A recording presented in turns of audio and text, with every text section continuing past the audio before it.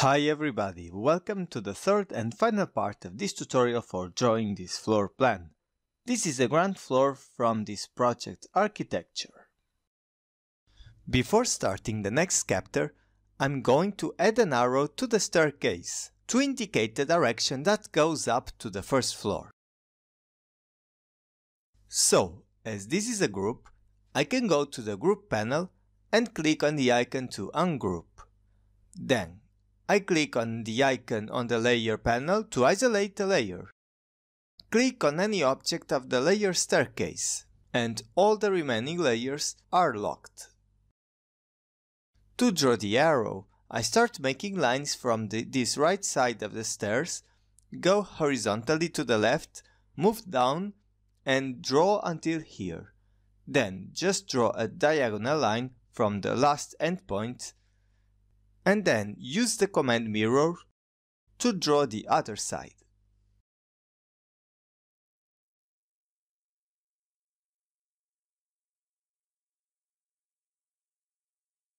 How to organize the layout tabs. Now let's learn how to prepare the layout pages to print our projects. By default, two layout tabs are included in our file. And by, and by default, they comprise everything that we have in the workspace. Then, it's important to understand what's the size of this paper. So, with the right button, we can go to the Page Setup Manager, and on this window, we choose the Layout tab that we want to edit. For now, I select Layout 1 and click on Modify. So this is the Page Setup Manager and there are some options to edit here. On the first tab, we can select a printer name or if we want to convert to a PDF file, we click on this option, DWG to PDF.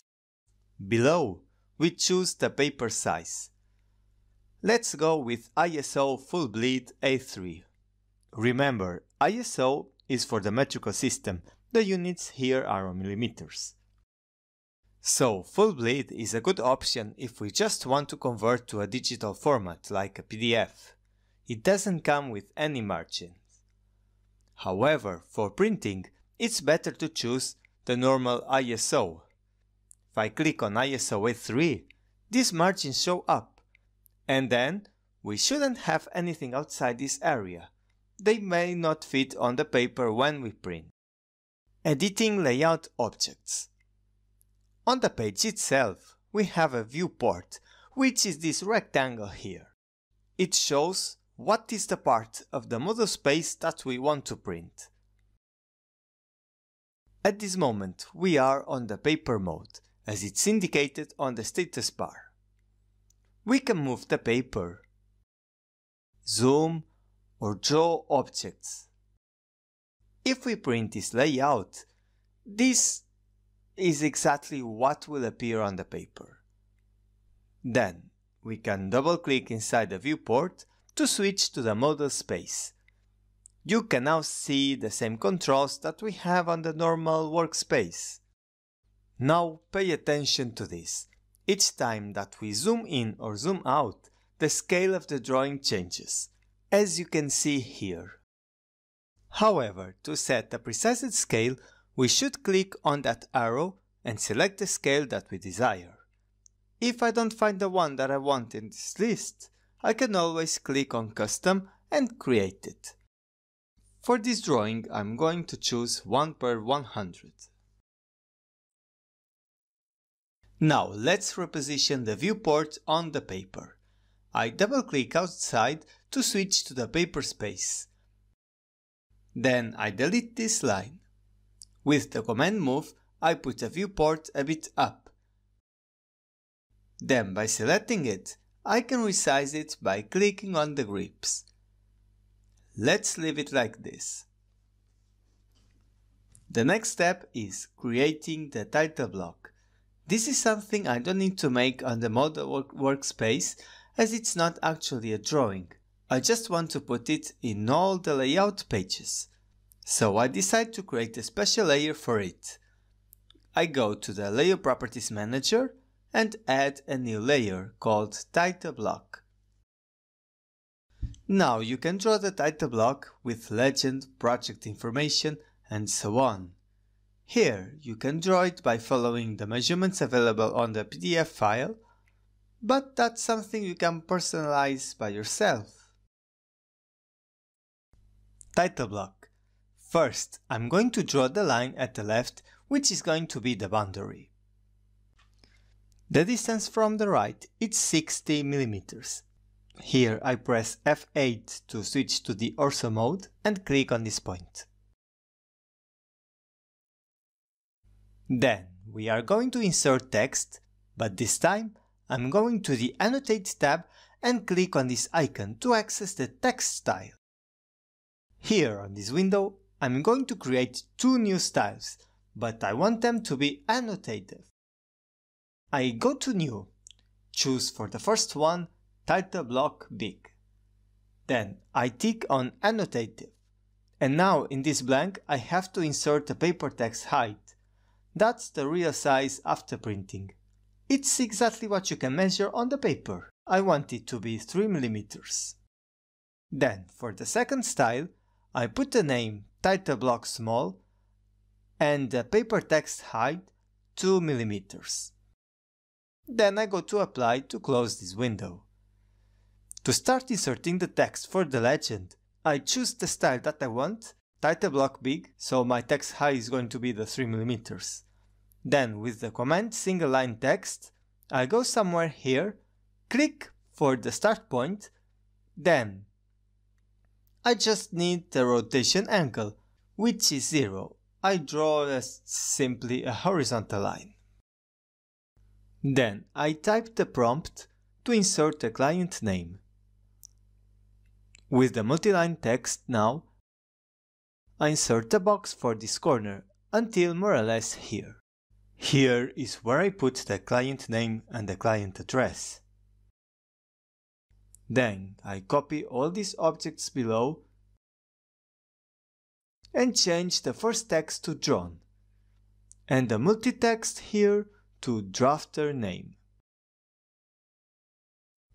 Next, I copy all together and edit them in the same way as it is on the PDF file. The scale and date use the text style title block small. Then, then I insert a multi-line text with two lines, scale and date. Then I draw a line at a distance of 40 mm to divide this part and another one here. You can do it with the command offset. Another thing, if you want to add the logo of a company and you have it in your computer as an image file, you can go to the Insert tab, then attach an image, select the image that you want, this one, then when I insert, I specify the scale factor that I desire, here I want it as 0.2. Finally, I move the block to the top and insert the text CAD in black. And to change the text height after making the text, I go to the quick properties and change the value here. Now I just move a bit to the left and the title block is finished. Ah, there was a remaining line here.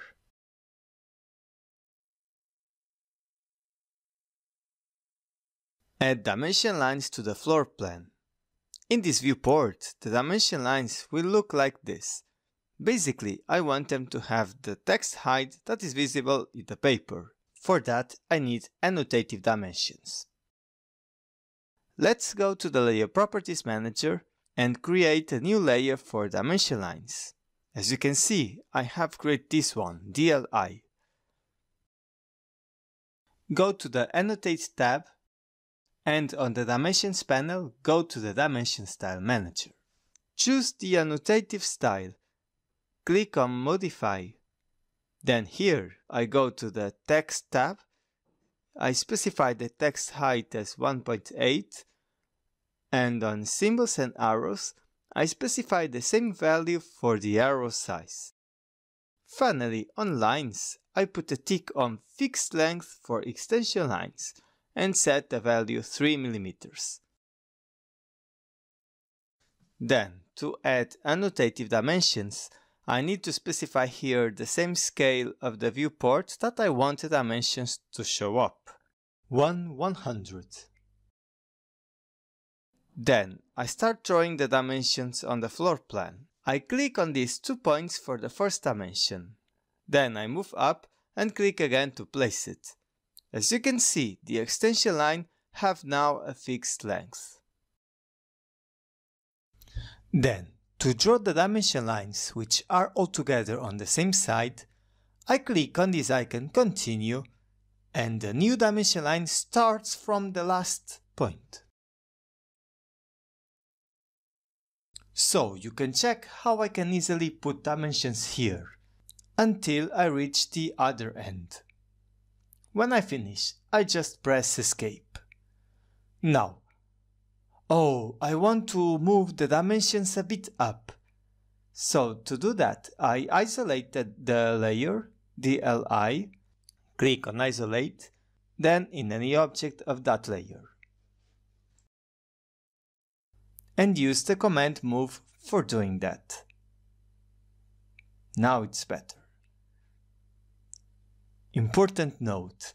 With the function dim layer, I can define a layer that will contain the new dimension objects that I create. I specify layer DLI and what happens is if my current layer is Windows, if I create a dimension line, it's automatically placed within the layer DLI. Let's switch again to the Layout 1 tab. You can see the dimension lines there because this viewport is with the same scale as the annotative dimension lines.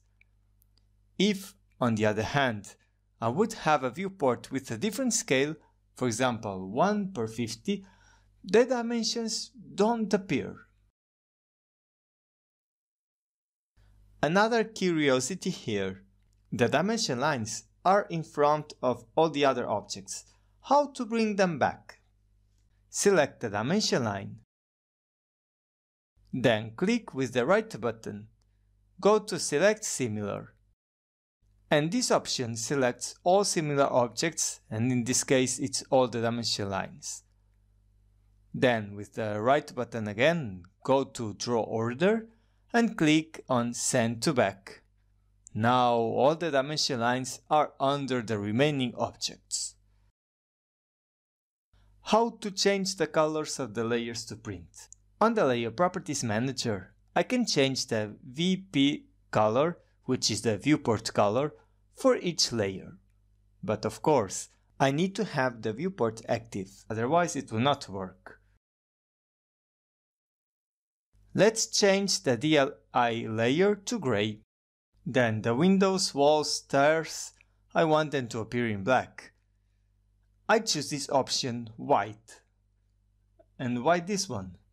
Because this color is white on the model space and it turns automatically black when you go to the paper space.